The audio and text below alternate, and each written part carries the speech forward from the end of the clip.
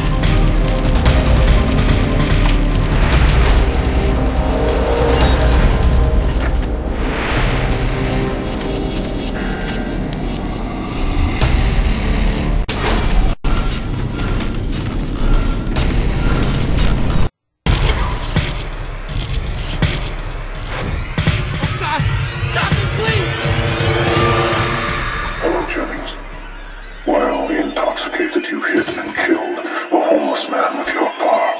As a forensic scientist, you knew just what to clean, but you couldn't clean guilt from your soul, could you?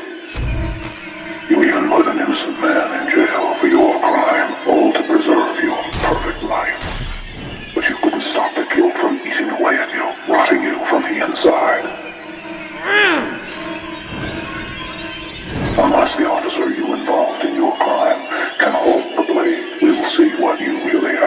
inside.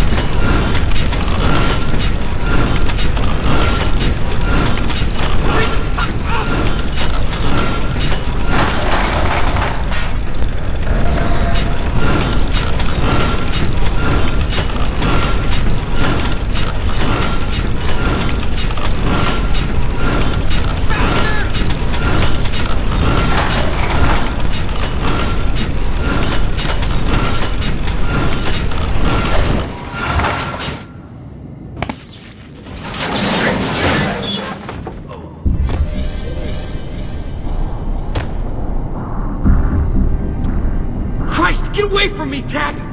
You self-righteous son of a bitch! Easy, Jennings. You're just reacting to the shock. Just calm down. You fuck! You fucker! You're the reason he picked me! You! Me? You killed a man. You a murderer. He was homeless! He didn't have a family, he meant nothing to anyone! What about the innocent man you put in prison? What about his family? But it didn't have to come to that!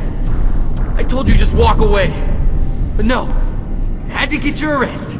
You, you put me in a corner, Tapp. I just did what I had to do. What you had to do?